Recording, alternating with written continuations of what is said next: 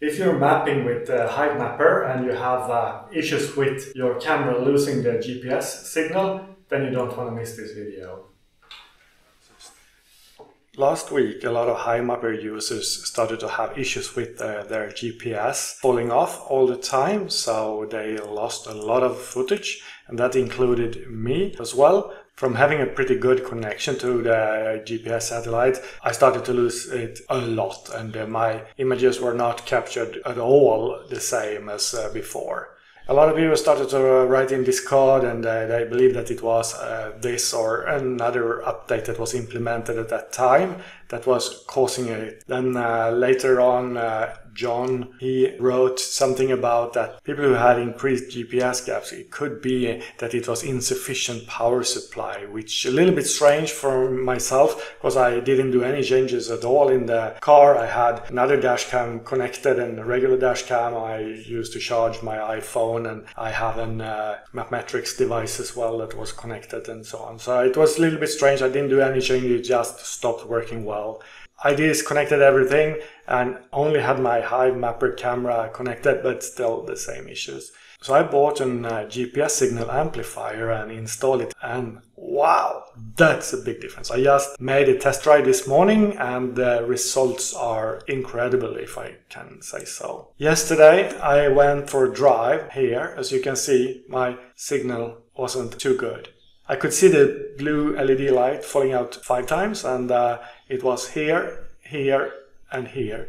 here. But just as you can see, it was really, really bad all the time. Today I installed uh, the amplifier and I was driving more or less the same road, the opposite direction. I couldn't go exactly the same here because there was a construction going on, so I had to go this way instead. What can I say? It's incredible. The LED didn't show that the GPS fell out a single time, and as we can see here, it didn't fall out. And it was working really good. Yesterday I got 676 photos.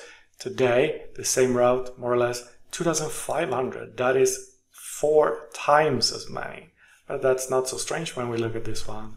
We can also see yesterday, let's see if I can zoom. Here, it was recording that I was actually driving out in a rice field. And it has been doing like that many times before too. So it was a huge improvement with this one. And the amplifier I bought, I bought on AliExpress, $12.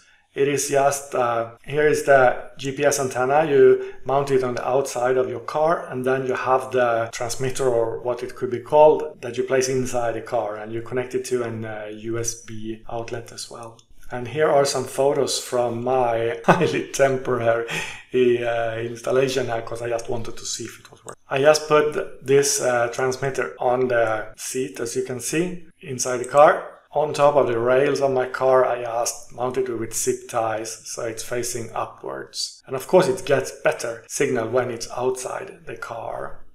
And as we can see here, I'm parked in my carport now. I have all three LEDs uh, lit and I never had the GPS signal while parked in the carport. So this one is doing miracles, I would say. That was a pretty good, easy fix. I believe that I will have a lot more photos uh, taken by the camera now in the correct places since it's not hopefully going to register that I'm on a rice field or uh, some other places uh, driving.